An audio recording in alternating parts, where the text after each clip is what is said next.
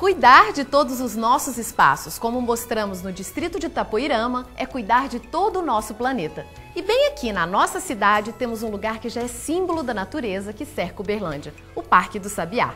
Mas esse ano ele ganhou mais verde, mais cor, mais vida com a inauguração do Bosque Viveiro Lady Lane.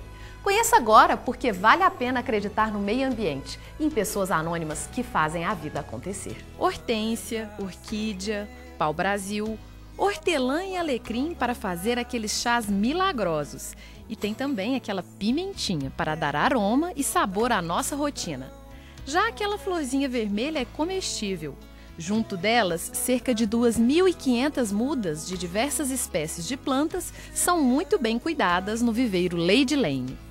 A iniciativa desse viveiro foi de uma frequentadora do parque apaixonada por plantas, que decidiu investir nesse espaço, que hoje é de todo mundo e para todo mundo. É muito bom, porque para as crianças que hoje em dia vivem presas dentro de casa e a gente não tem espaço para ter uma planta desse tipo aqui, né? Então foi muito bem criado esse espaço pela Lady Lane aqui. O contato com a natureza é, é outra coisa.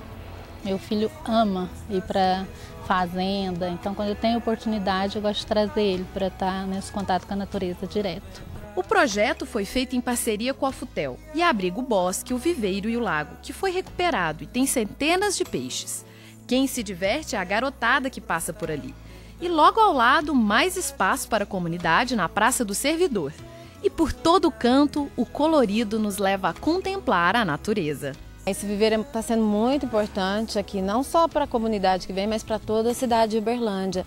Tem plantas aqui que mudas de plantas que, que vão ser muito importantes até para reflorestar, porque é, muitos estão em extinção, né? E essa oportunidade aqui que o parque está dando é importantíssimo. A água que ali transborda silencia os pensamentos.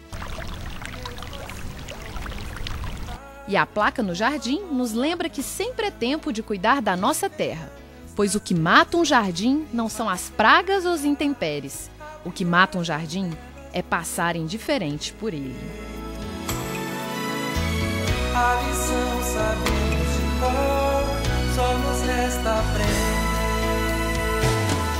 O Parque do Sabiá fica aberto ao público todos os dias da semana, das 5 da manhã às 10 da noite. Mas para visitar o viveiro Lady Lane, o horário é diferenciado. Ele está aberto à visitação das 7 da manhã às 6 da tarde.